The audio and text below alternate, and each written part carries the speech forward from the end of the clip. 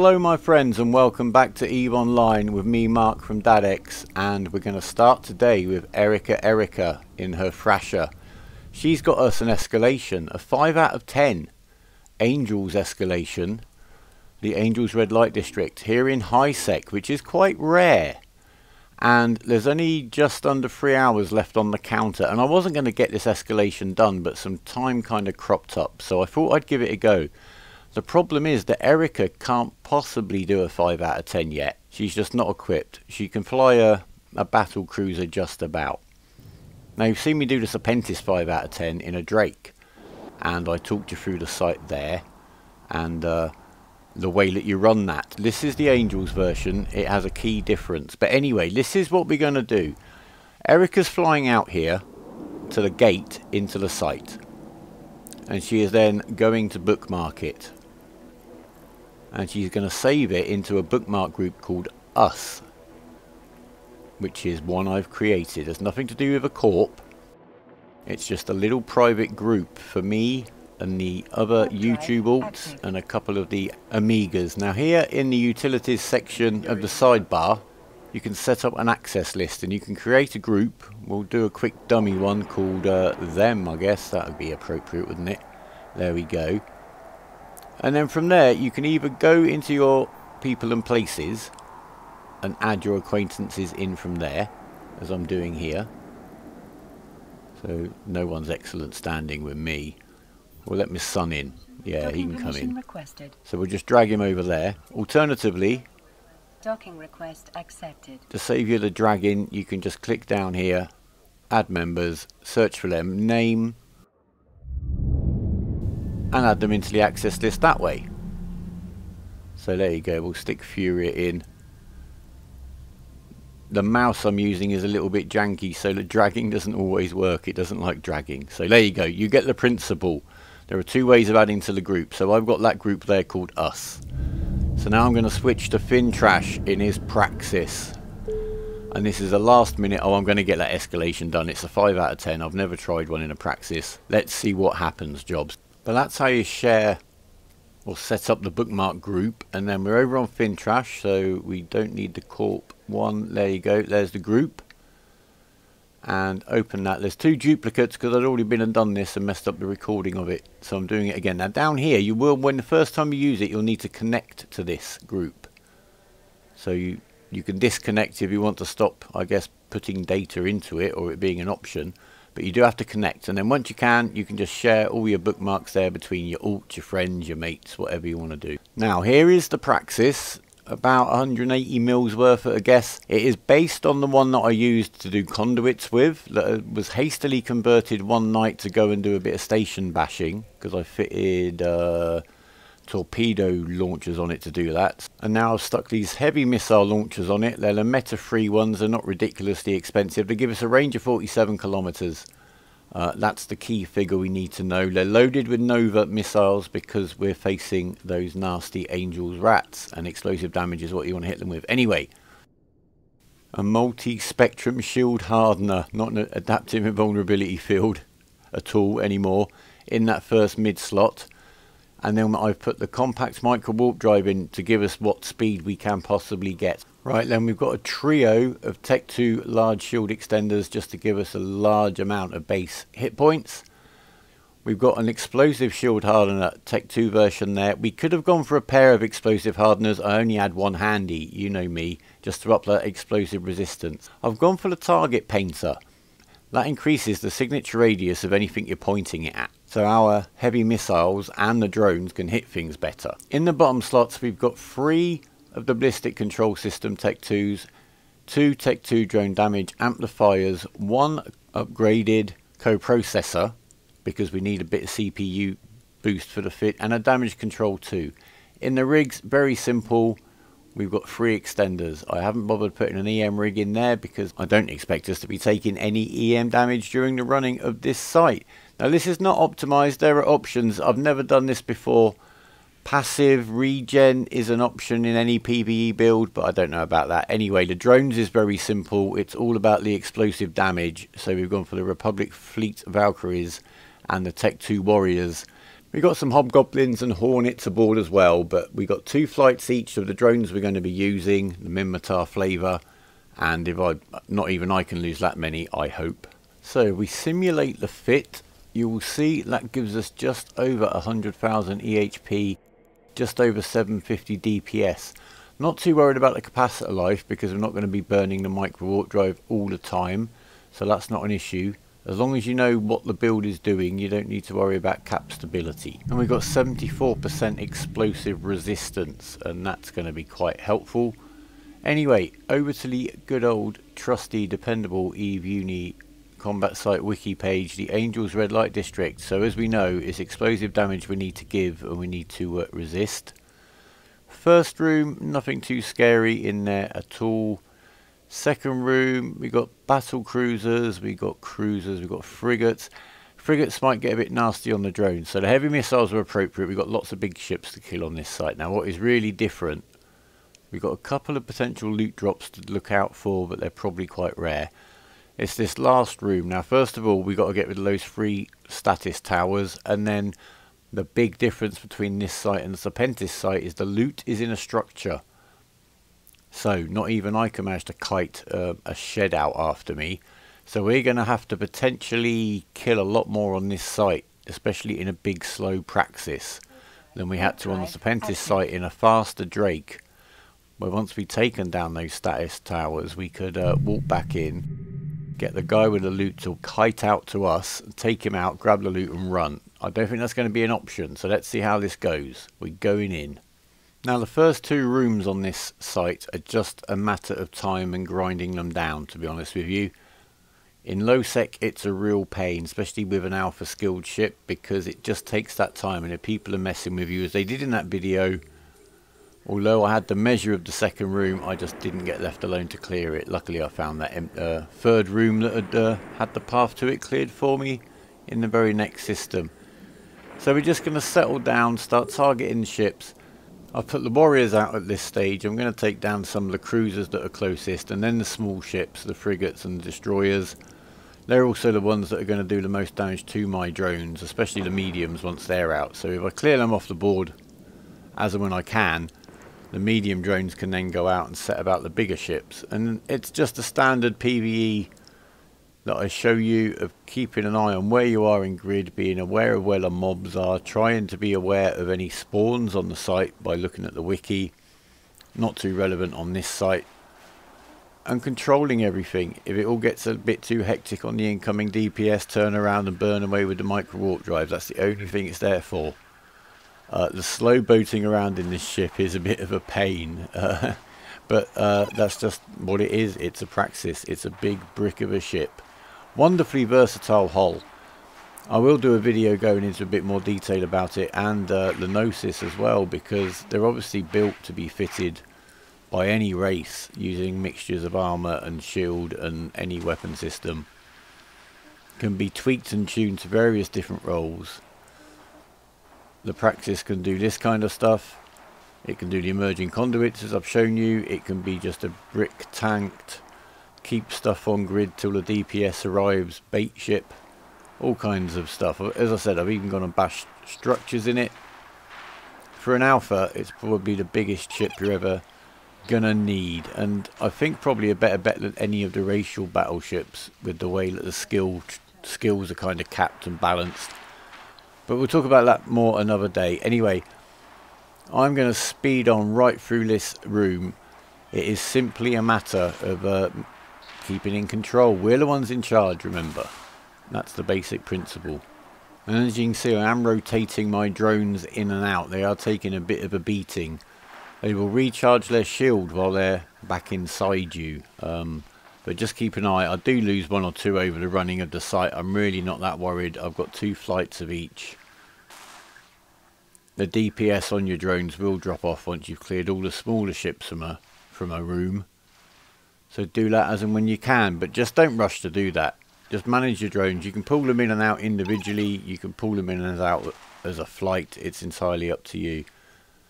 It's always handy to have that window displaying what they're doing just so they are returning when you think you've asked them to return and they're not staying out there and getting killed because I've had that happen to me before. And do remember, as I've said, this fit is a kind of run what you brung starting point. We've got options. We could have fitted a missile guidance computer maybe to give us a bit more range and uh, maybe some better application. For the heavy missiles, we could have uh, put on a couple of different modules or even rigs for the drones. Partly it depends on your skills and your preferred style of play. The tweakage is down to you. Feel free to leave me a comment telling me uh, how you've kind of would optimize this fit yourself. I might even try it if I find another 5 out of 10 to do. So bear in mind this is that starting point fit and uh, we'll work our way through.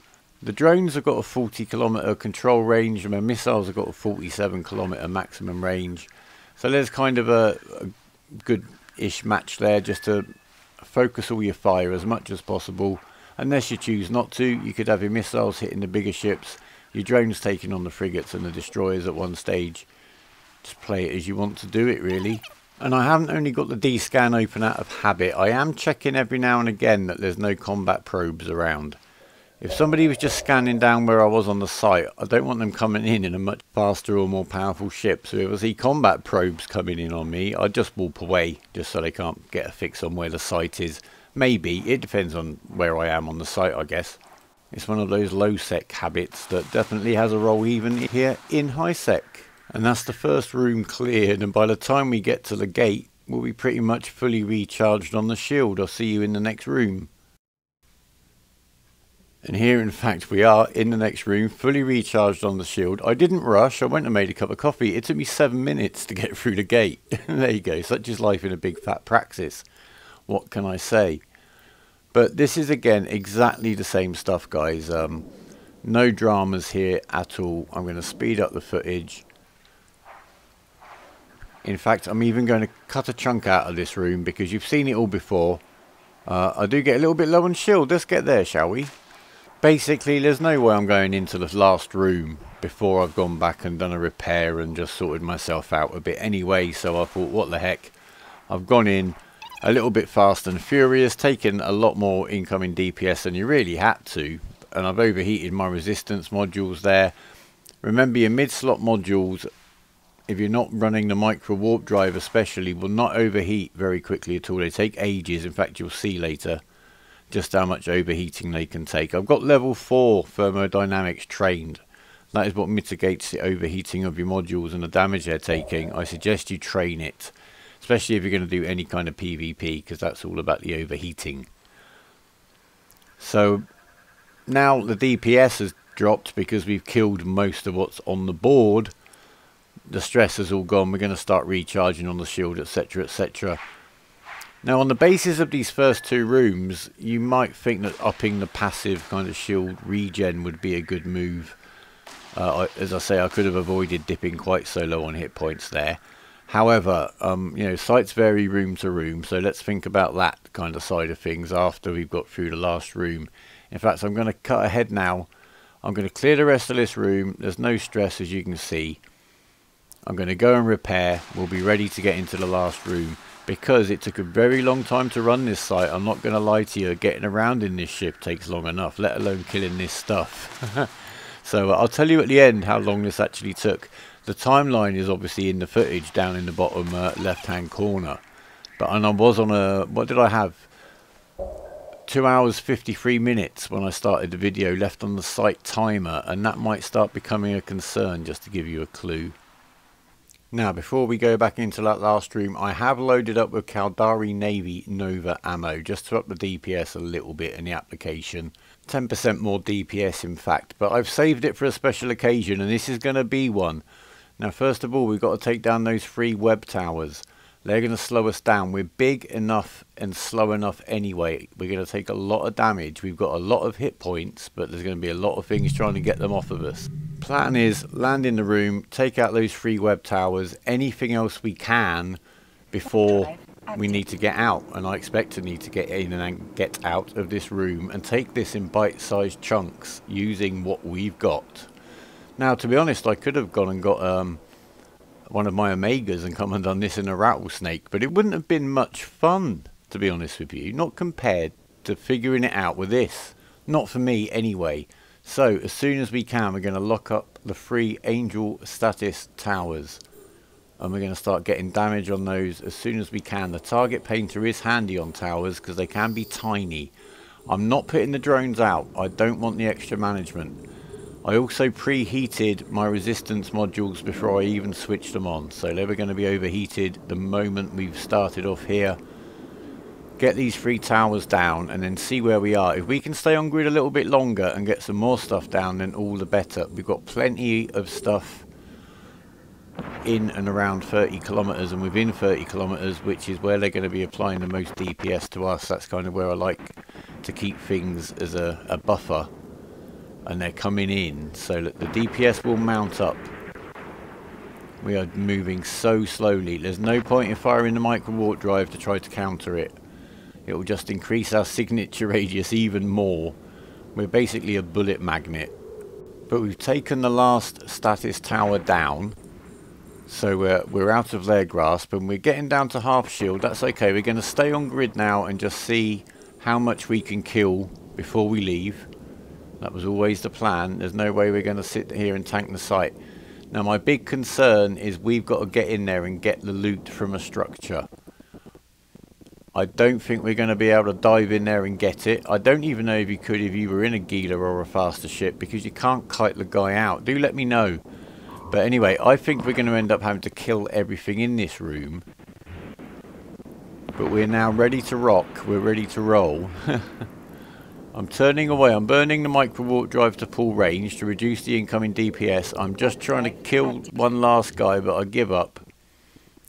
So we're going to warp out no drones to worry about. I didn't intend to put them out this first time. I'm surprised we stayed on grid this long.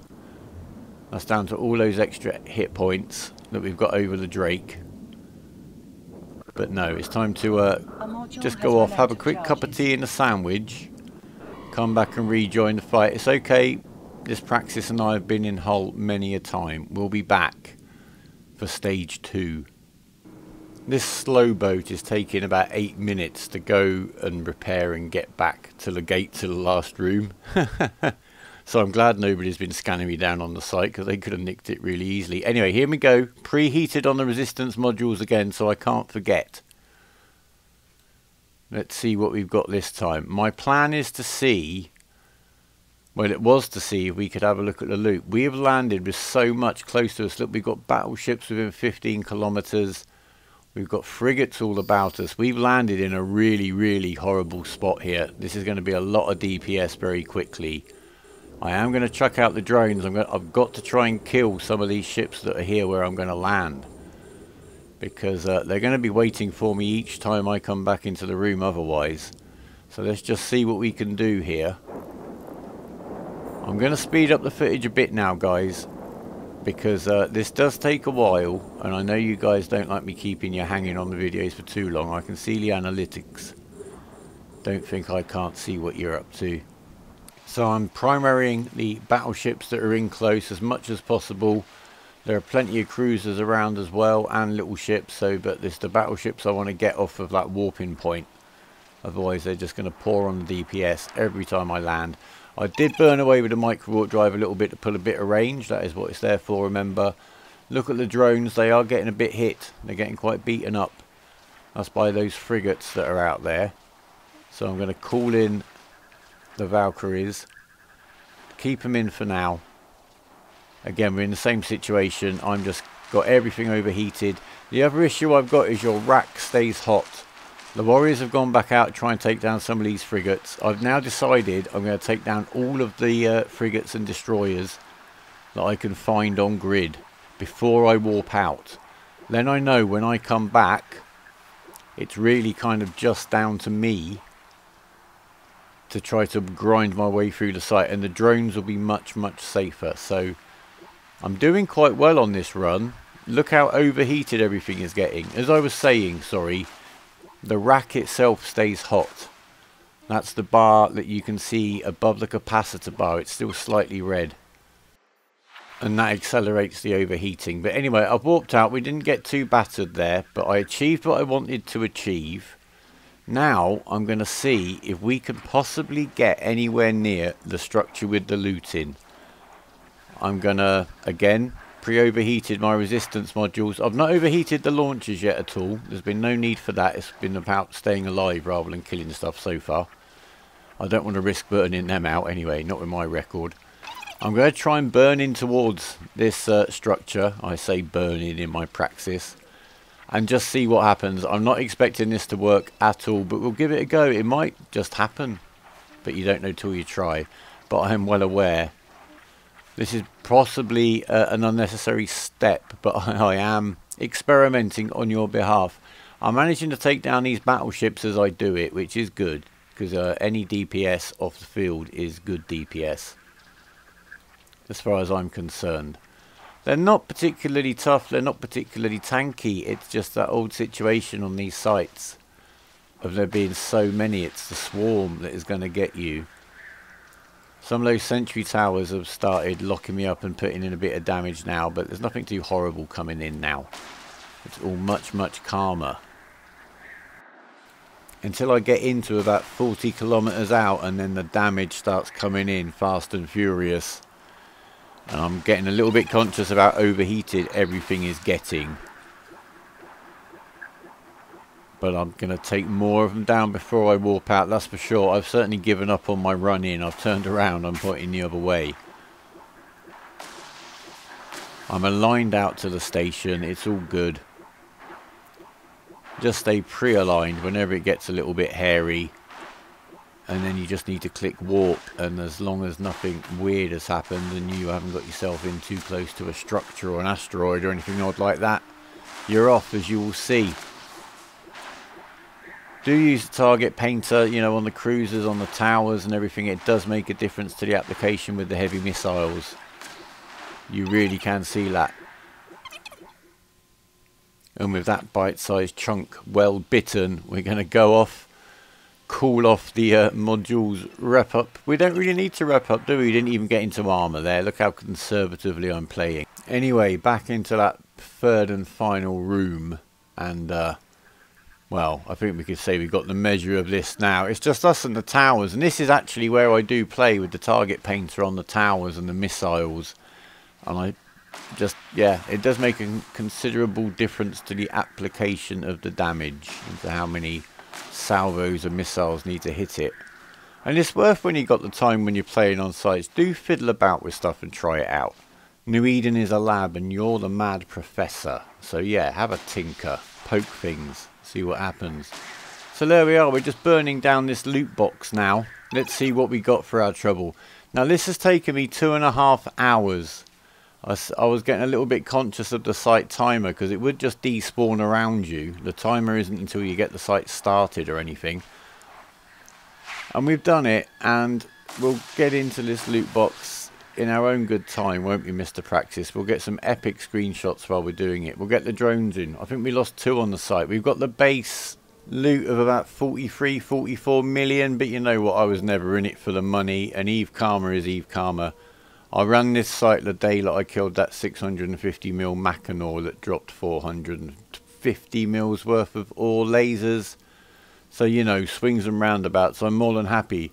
But the point is, I've had two and a half hours of very uh, busy, intense, having fun playing Eve with my praxis, and we got into Hull again, but he never lets me down. I'm bookmarking some wrecks, just in case the site does collapse. I can still get up here and salvage, although I'm not going to salvage. I'm going to drop some info in local and see if anyone wants to come up here and salvage directs. It's very late and I want to go to bed. But the Praxis and I, off the cuff, have done the 5 out of 10. And I hope, again, this is just supposed to be a bit of an example of it isn't always about having the min-maxed fit. I've seen people miss sites or miss fights because they are faffing over their fit. And by the time they get there in their optimized fit, someone's already run the site or the battle's already been won and lost, etc., etc. So I do encourage you not to be too too fussy about what you fly. Get to know how the ships work, and you'll know what you're getting yourself in for. It's very hard to lose a ship on these sites if you don't plough in and just go a little bit mad. Remember, you're the one who takes the initiative on these sites. The rats aren't too bright. We could have got some very nice loot, but not this time. I've heard of these sites dropping hundreds of millions. Let me know, guys. Leave me a comment. What's the most loot you've ever got off a 5 out of 10? What's your favourite ship for doing it in? If you do it in a praxis, share your fit with me. Either in a comment, in the Discord if you want to drop in there and share your fit with the other guys. That'd be cool. But we're going to do one final giveaway. This is our final kind of celebratory episode. Again, it's more about just the spirit of getting in and getting a site done than anything scientific about a fit optimization or a tutorial on a site or a situation. And I think to bring it up to around billion that we'll have given away altogether, we're going to do it a bit differently I'm going to get two of you very happy because two of you are going to get 250 million each. So if you add the three giveaways together, that's going to be a cool billion. And you know I've earned it. So um, I can only share the love and the good karma. So again, I need you to be a sub. I need you to leave me a comment of what you would do with your quarter of a billion windfall.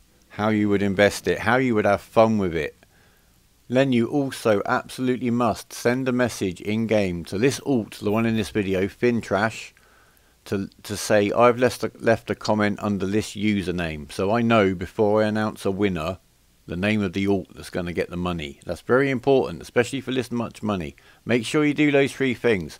I will pick two of you based on uh, how much your comment has made me smile or impressed me or made me think.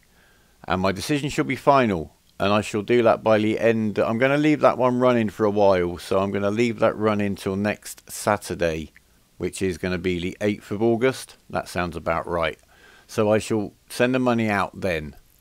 That's all you have to do. I'm leaving the guy that I found in local after a couple of posts in the chat to salvage to his heart's content. I've abandoned all the wrecks, they're all his. So I hope he made a nice bit of money out of that himself. I was way too tired having run that site in my mighty praxis to come back and salvage myself. So if you are going to leave a site unsalvaged, you know, do think about just saying in local, do you want it? Nine times out of ten, they'll think it's some kind of trap and won't talk to you anyway, but that's their loss. Anyway, guys, I'm going to leave you in peace now. I'll be back very soon. I'm going to try some kind of short, snappy vids of this is a fit, this is a site. Any requests, anything you want me to look at, please leave me a comment you know I like some input and I like a bit of guidance from you guys. Subscribe if you want to stay in touch. Like it if you've liked it. But for now, remember, even if it's believing, fly safe, fly brave. Take care of yourselves and each other. And for now, goodbye. Rubbish loot from these wrecks, by the way. Don't even bother. A couple of useful bits, but most of it's just junk, to be honest.